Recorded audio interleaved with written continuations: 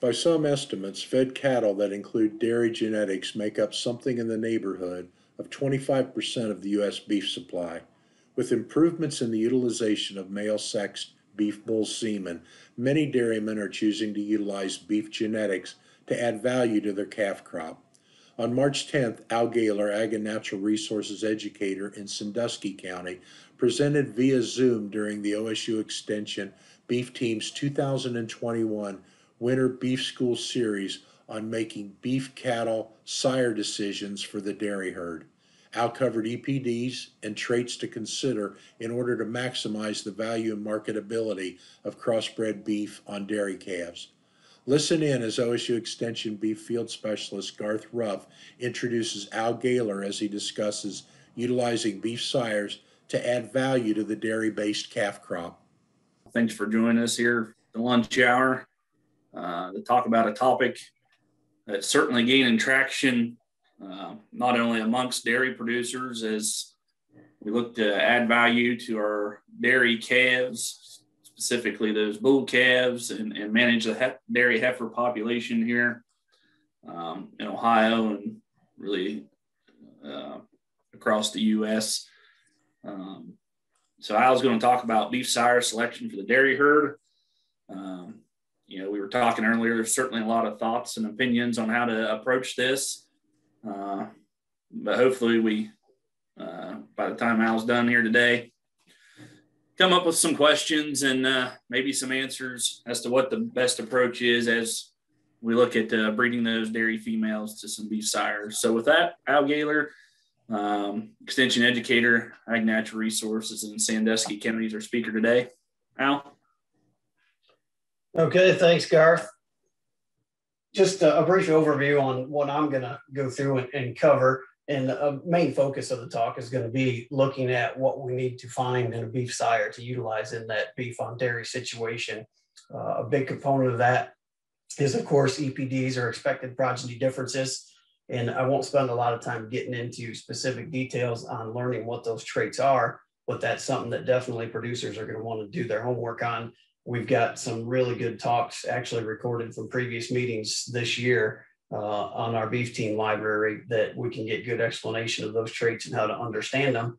Uh, but I will refer to some, some basics on some of those here today. Uh, the other thing is just developing uh, priority on what traits are the most important to look for beyond those EPDs uh, and what we need to find in a beef bull to have uh, success with utilizing crossbred calves for whatever market we may find. Uh, we'll look at what breeds then might offer those specific traits and uh, EPDs that might be desirable, and uh, maybe some breeds to avoid using in specific situations, as not all dairy cows are made the same.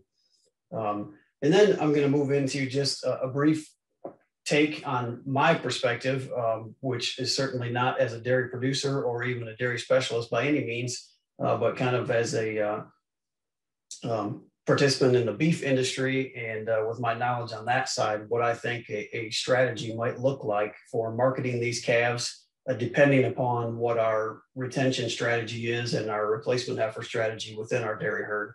And then putting that all together to develop a breeding plan of how we're going to mate those cows, how many we're going to mate to beef semen, if we're going to utilize sex semen, and how all that's going to affect our bottom line ultimately as that's our number one goal. And, and main reason for looking at utilizing beef on dairy is to get some increased revenue back to that dairy operation.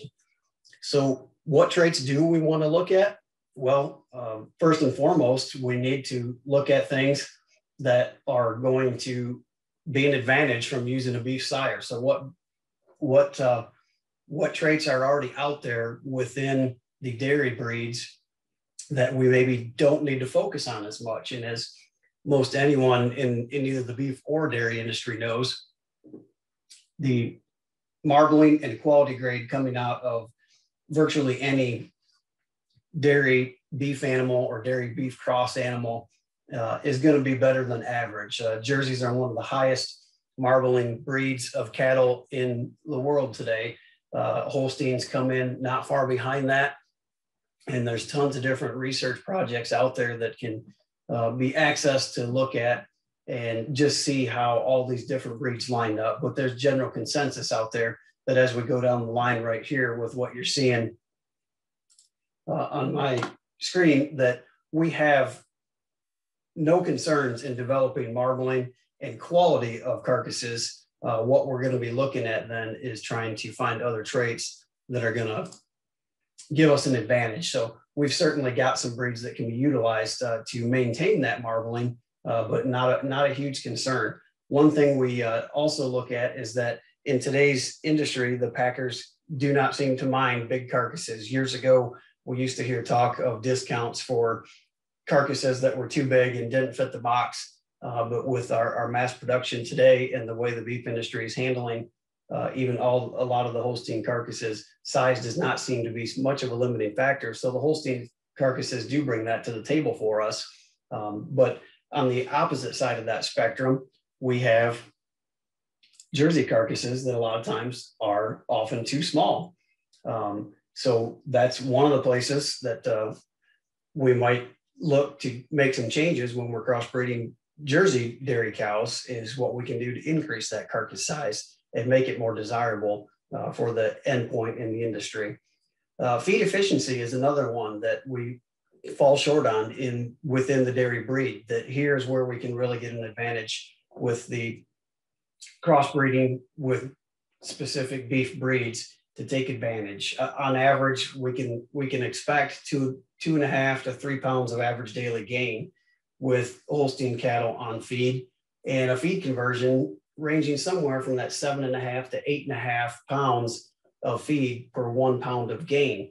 Where we compare that to long-term averages over several beef breeds, we can expect gains up to four and a half and sometimes even greater than that in highly managed feedlots with good genetics. Uh, but what's really more telling of the story here that's going to have a bigger effect on the bottom line is finding those ones that can complement the dairy breeds because of the added feed conversion and lowering that number of only four and a half to seven and a half pounds of feed per pound of gain, which with the cost of commodity prices today, certainly is going to have a large impact on that bottom line for us.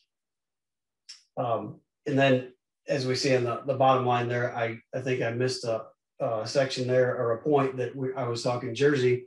Um, we don't really know what those long-term average daily gains are. There's a lot, not a lot of data out there uh, to tell us what that feed conversion might be, uh, what we can expect. It would be similar, but more than likely, uh, in most of the research that I can gather, it's going to be a little bit less than Holsteins on both the average daily gain and the feed conversion. So definitely some room for improvement there as well that the uh, beef traits can bring to the table for us. What other beef traits do some of the dairy breeds fall short on? Well, I already mentioned this one, uh, carcass weight in terms of the Jersey carcasses and maybe some other smaller dairy breeds. The packers certainly don't mind taking those large carcasses on. Uh, typically today, we still look at that 600 to 900 pound carcass range. And a lot of Jersey carcasses, if we're feeding purebred Jersey steers, are going to come in under that and several Holstein hot carcass weights are going to come in over that 900 pound range. Uh, so we can look at that. The other thing is to look at muscling, and this is where we really fall short a lot of times in dairy cattle on feed for beef production. And that magical number of 11 square inch ribeye areas is sometimes hard to beat or hard to meet, especially with Jersey carcasses. Uh, Holstein carcasses averages come in just under that on, on most data that I've been able to gather, but we have definite room for improvement there. And that's certainly one place where we can look to that crossbreeding with beef sires to increase that muscling and overall yield on these carcasses. As we're looking through, what other traits do we need to think about besides just looking at those few traits that uh, that one breed seems to excel in or be shortfall in uh, when we're looking at this crossbreeding situation. Uh, one of the things we can consider is birth weight and calving ease.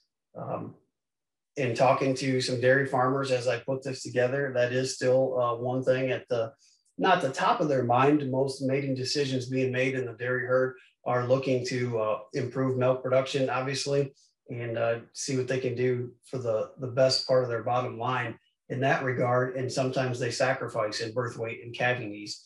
Uh, but there are still a lot more assisted calvings and calving problems than most dairymen would care to take the time to deal with. So we may be able to help that problem as well. And in specific cases, uh, we may select for it. In some cases, we may not need to, but that option is there within several of our beef breeds uh, to bring some calving assistance uh, with lighter birth weights.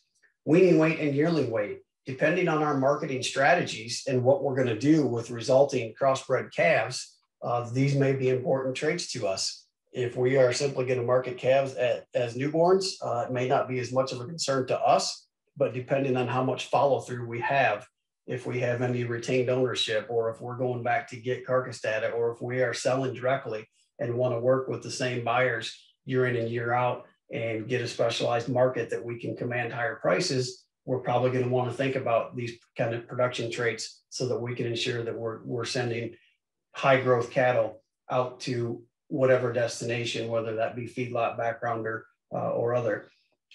Size and stature, and this is a big one to me, uh, as you're going to see as we get into talking about EPDs here in the next couple of slides, but looking and finding the right match to whatever dairy breed we're crossing with uh, and finding the right beef breed that can complement uh, the size and stature as we look at heterosis and what we can do here um, we don't necessarily need to be breeding Holsteins to seven frame uh, terminal type bulls that are going to just give us that continued uh, high frame, uh, longer growth period type of offspring. We can we can do some mixing and matching here to come up with moderate size uh, and scale and get the proper growth rates, proper maturity rates as well. And I think this might have as much to do with it as anything, especially just comparing uh, to genomics, but we'll talk about those here in a minute. And then um, one other consideration, uh, as anyone who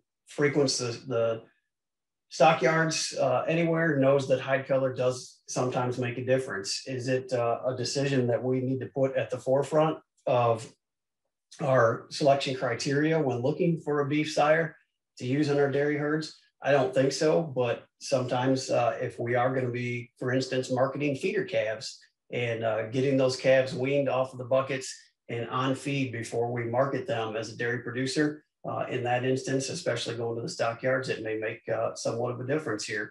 And uh, there are several options out there, of course, to get to go after to get that usually sought after a black colored hide when we're going to the stockyards. As I mentioned, uh, taking a look at EPDs and what the next few slides are going to show are some screenshots of some EPDs of some bulls that represent some extremes within the Angus breed. And I, I pulled slides from the Angus breed uh, just because that's the standard. If you look at the crossbreed EPD adjustment factors, uh, everyone knows that uh, Angus is used as the benchmark for that.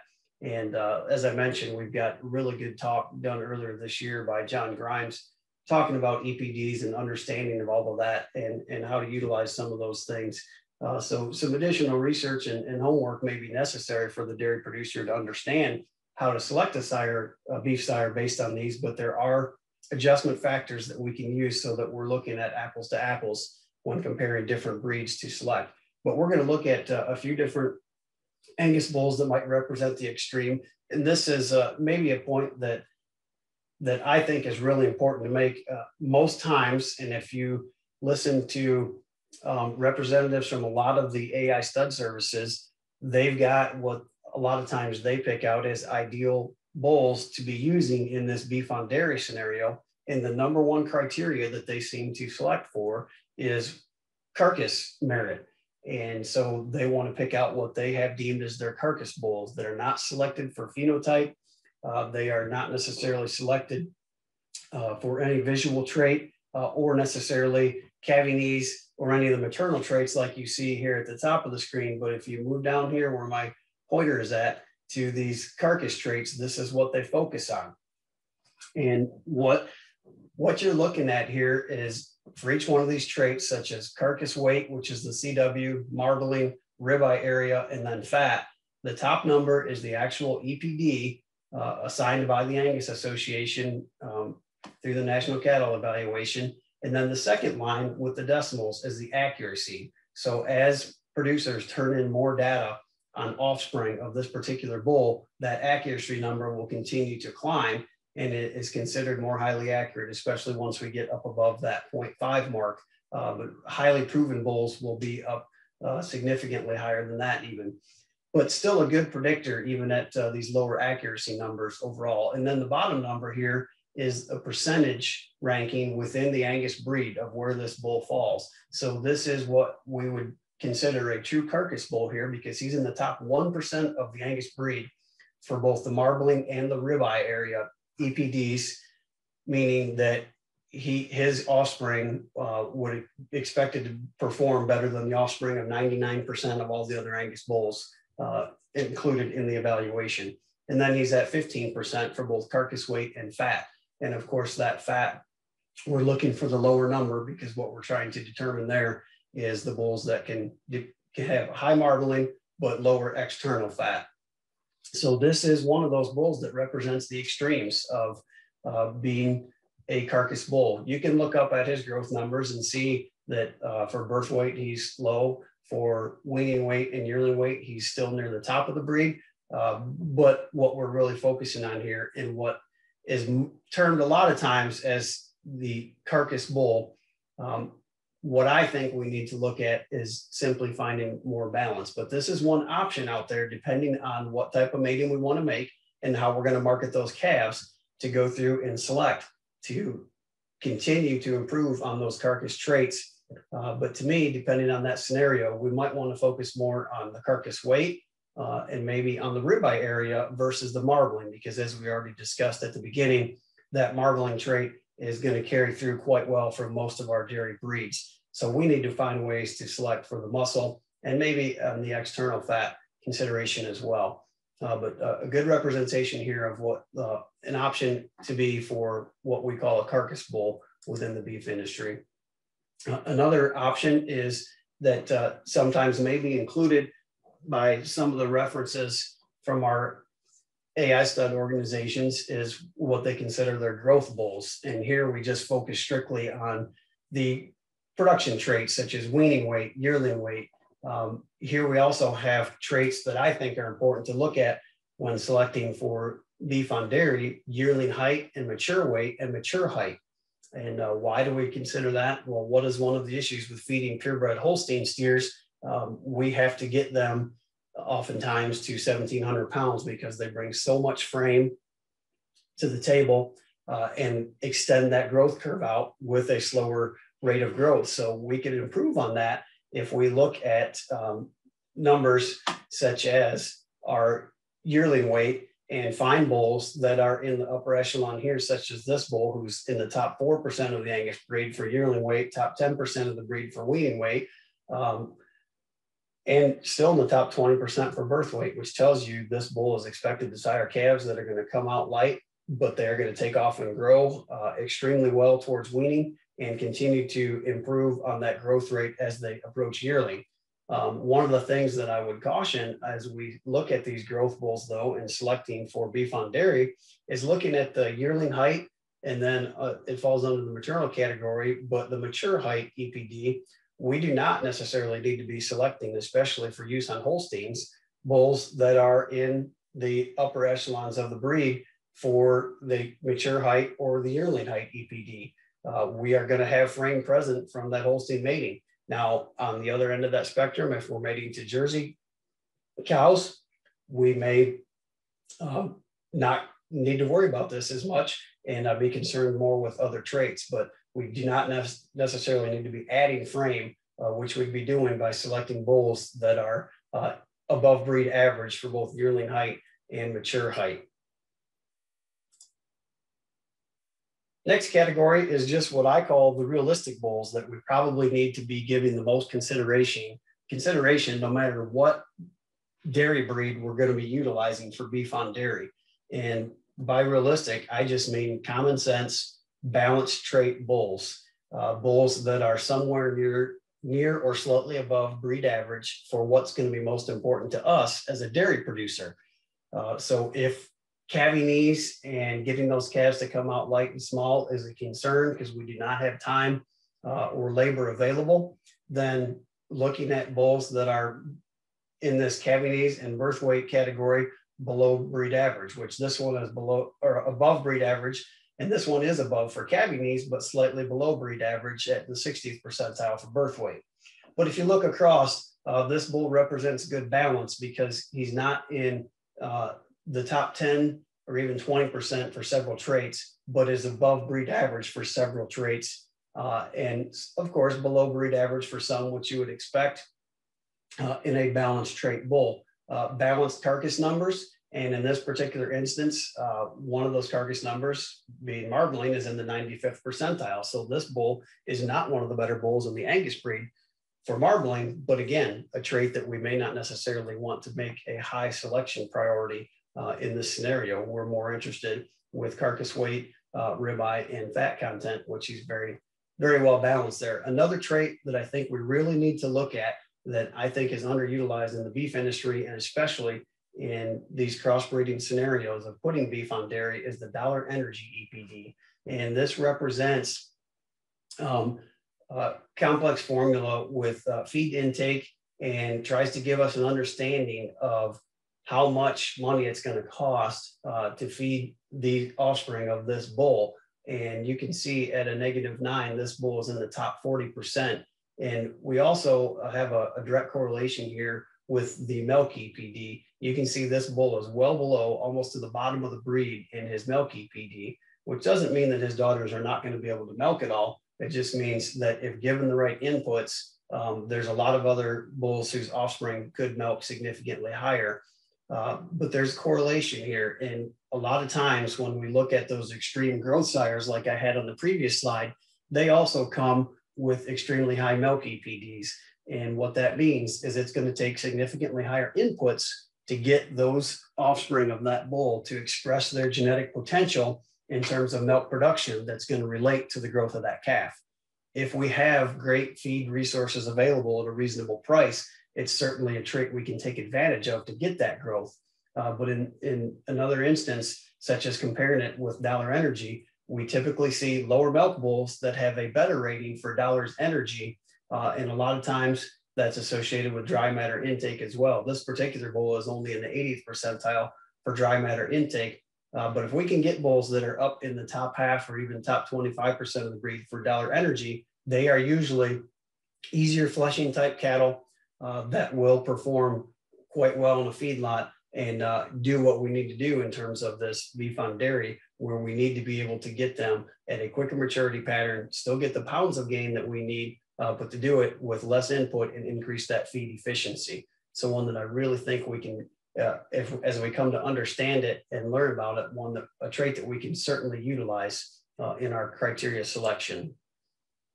So when we put all of that together, what we need to really do is start to figure out the best scenario for combining these traits and, and looking at the individual dairy herds desires uh, what their feed resources are for the calves as a result of this mating what their labor resources are uh, in terms of monitoring for dystocia and putting that all together i think we need to, to come back to figuring out that what i called the realistic bulls and those balanced trait bulls. And it doesn't matter what breed we're looking at.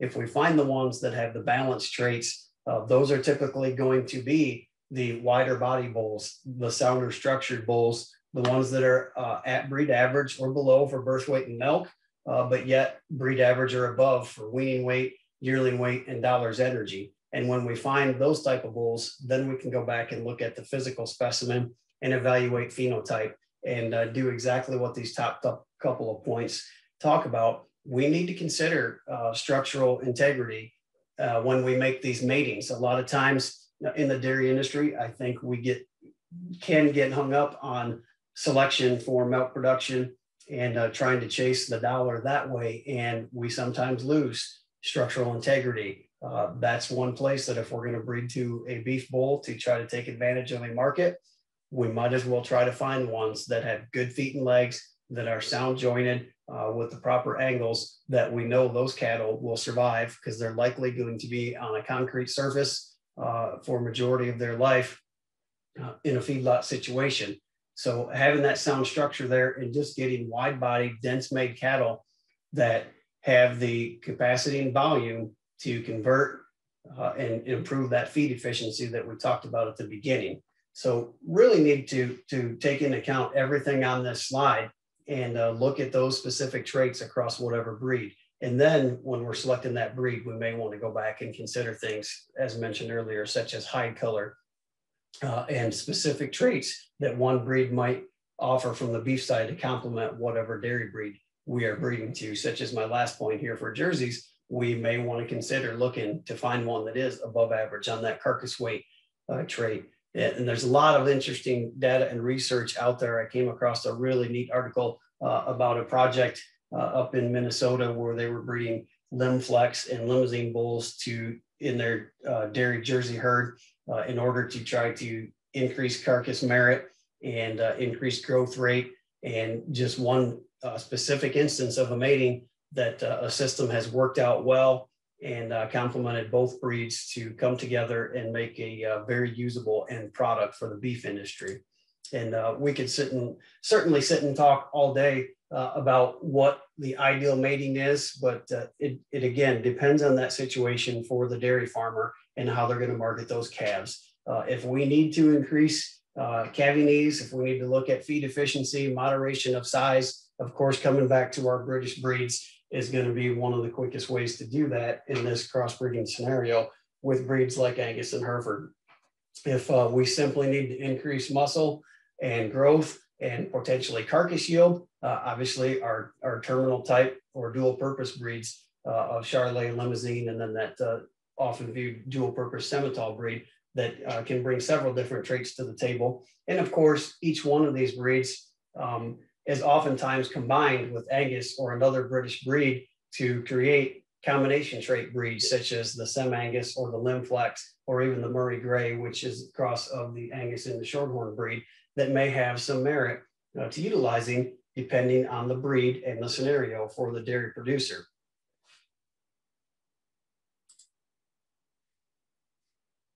to me though uh, we need to really figure out uh, we can we can spend a lot of time on both figuring out what that ideal breed is and maybe it's multiple breeds uh, within one dairy herd if we have a holstein herd uh, that we're going to breed a certain percentage of our cows to beef uh, maybe we want to try a few different uh, breeds and represent some different scenarios in terms of trait selection but to me before we can figure that out and get that ideal scenario uh, of understanding what what we're going to do with these calves. We need to come up with an overall herd goal and marketing plan uh, for heifer retention. Are we going to retain any at all? Um, how many heifers do we need to keep on an annual basis to keep our herd the size it is? Or are we going to try to increase the size of our dairy herd uh, with expansion by keeping more heifers? Are we taking a good hard look at what it takes for us to raise and develop those heifers to put back in the herd? Or is there opportunity somewhere to purchase replacement heifers that might give us a better rate of genetic improvement than keeping heifers from with our own herd uh, and might be able to do that at a cheaper cost than developing those heifers ourselves, which in that case would certainly open up opportunity for more beef on dairy breeding and allow us to take more advantage of the market opportunities there. Uh, there's certainly opportunity cost with everything that we're doing and every decision we make. Um, so we've really got to figure out uh, what is that number of cows bred versus heifers kept that we're, we are currently experiencing, uh, and what is the value of calves that are not kept as replacements. Um, for the, the scenarios that I'm going to present to you here over the next few slides, uh, I'm going to assume that most dairies are in that situation of continuing to keep their own replacements versus purchasing all of them. Um, and we need to be able to figure out what that value is of all the calves that they are not putting back into the herd before we can go and make the right sire selection to try to improve on that bottom line scenario. Uh, we also need to do an evaluation of the, our current use of that calf crop, which goes right along with that uh, uh, figuring out what those calves are, what we're going to do with those calves that we're not putting back into the herd. So, uh, understanding if we're using all conventional semen, what is our average ratio? Are we averaging 50 50 ratio on bulls and heifers? We need to know how many of each we're going to have available to sell before we try to determine that market and then go back and make appropriate mating decisions. How many of those heifers are we keeping? Um, and when are we going to sell those remaining calves? Are we going to treat them as we have our dairy calves, uh, get them into a, a bucket scenario right away and get them to either the stockyards or a direct market within a few days after birth? Are we going to try to get those calves on grain and weaned off the bucket at three or four months of age? Uh, or are we going to feed them longer to make yearlings out of them? Uh, are we going to feed them as two year olds that we might be able to sell as replacement heifers to another dairy herd, uh, which certainly is a scenario that may work out for some specific herds. But we need to understand what that plan is to know how many calves we're going to have and of what type before we market them. And then where are we going to take them? Are we marketing everything through the auction barn? Do we have feedlots that we can direct market to? Uh, or is it going to be trying to market all of our heifer calves to other dairies? And then finally, uh, determining your overall position in the supply chain before we get into some of the scenarios of what this might look like for us.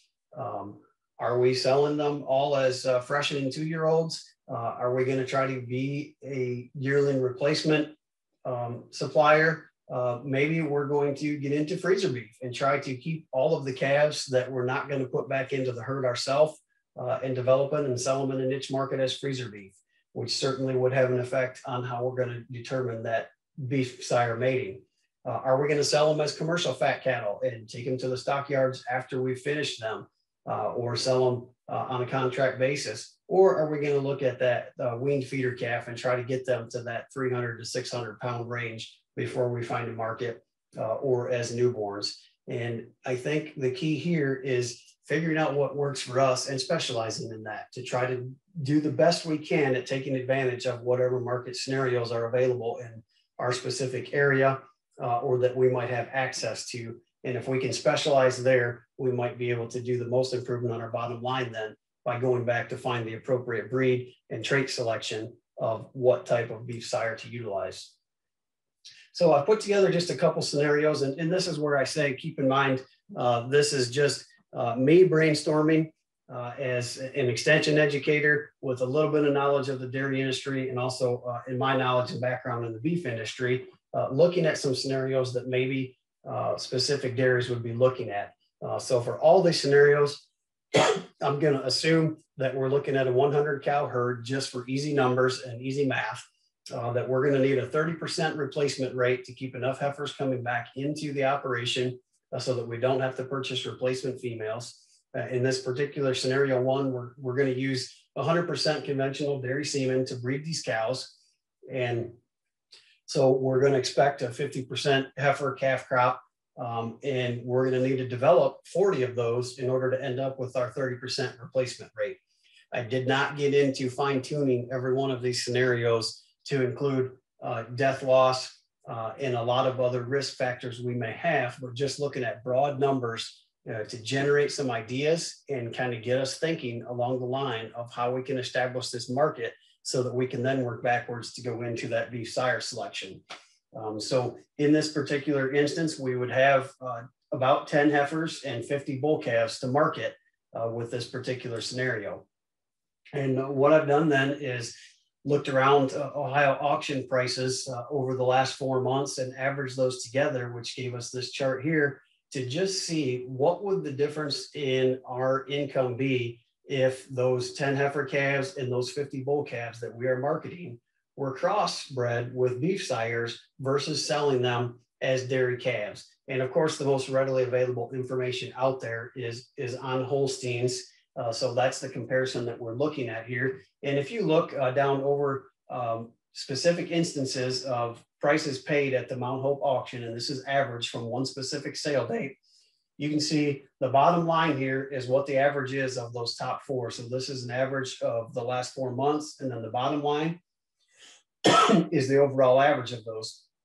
So on average at the Mount Hope auction, um, prices paid for, and this is 90 to 120 pound calves, uh, typically in that three to five range, three to five day old range. Uh, Holstein bull calves commanded an average of $144 per head, whereas their crossbred counterparts averaged $177 per head. So a $33 advantage there on the bulls. And the heifers is what really tells the story here and what we can expect from an advantage on those crossbred calves.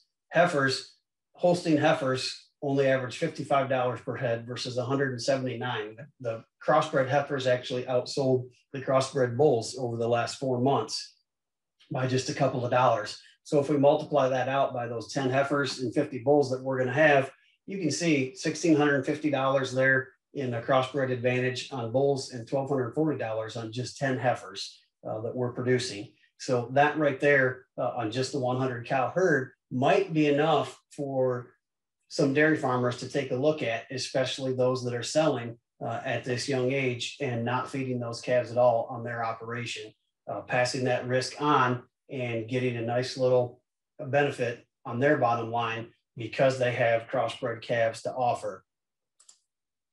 Next scenario, uh, looking at is including all those same assumptions, but now and rather than sell those heifers as newborns, we are going to uh, market those calves as feeders. So I just plugged in an average weight of 350 pounds for these calves and uh, pulled prices at Muskingum livestock uh, throughout uh, two, 2021 sales and average prices together here.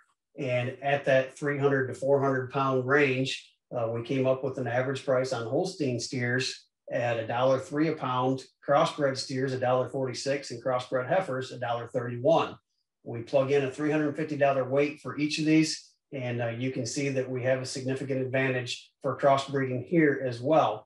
Uh, with bulls at an average of $150, uh, and we still have, we're going to assume that those heifer calves um, were sold at uh, a few days old uh, in this scenario. So we still are back to that same um, $124 uh, on those as we saw in our previous slide.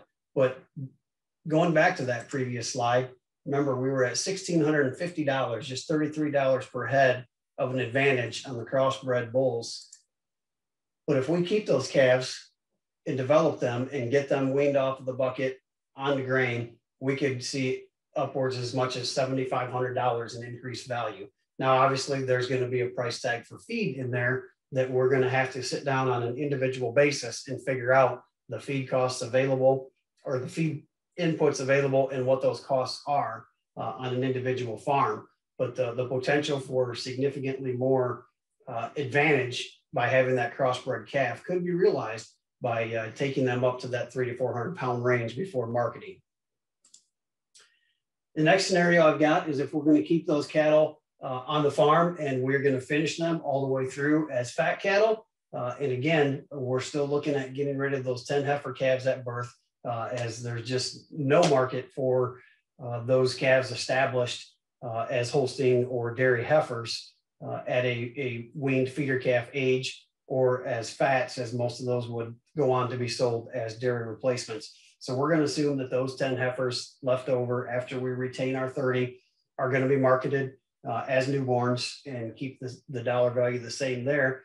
But if we have 50 bulls that we're going to sell as fat cattle, plugging in an average weight on the Holstein bulls at 1600 and the crossbred steers at 1400 and crossbred heifers at 1200 pounds, with the average prices paid uh, over the course of uh, the last two months here in 2021, you can see that we still have a significant advantage there. And we've added another $400 to the uh, overall herd revenue on those bulls by gaining another $8 per head with that crossbred advantage by having bulls that hopefully we're able to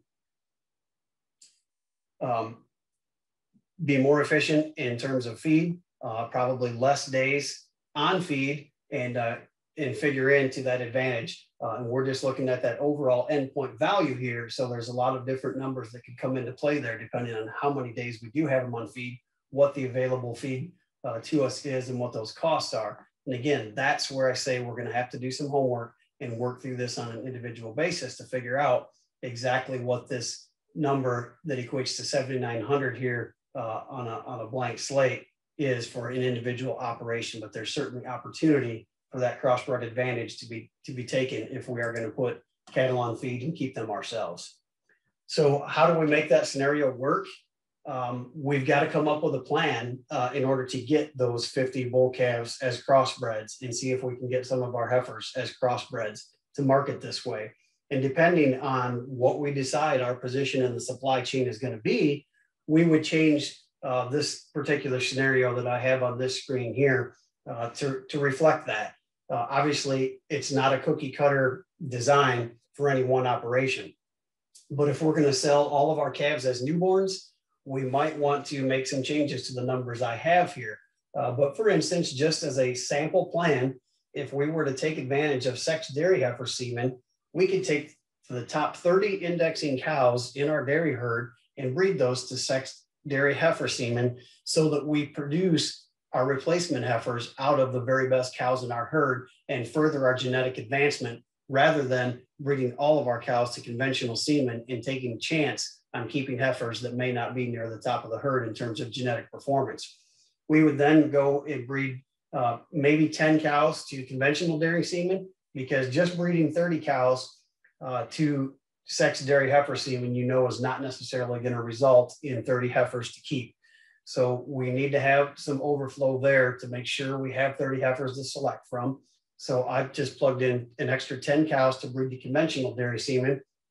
And then the remaining 60 cows in the herd, we could breed to sexed beef bull semen to not only give us that crossbred advantage, but give us the advantage of having bull calves, whether we're going to market those at birth or whether we're going to market those as feeder calves or whether we're going to uh, cut them and put them into a feedlot on our own we can certainly see the advantage uh, through some of these numbers on having that that crossbred bull calf uh, to turn into a steer. So we could use matings like this to come up with that scenario of getting us those 50 bulls to market, but having the very best genetics to return to the herd by utilizing that sex dairy semen. Of course, that does come with an added cost as well. Uh, on average, uh, we can expect sex dairy semen premium to be about $30 extra per straw. Uh, so there's going to be some costs to breeding those top 30 cows to that, that semen and added cost of $1,200.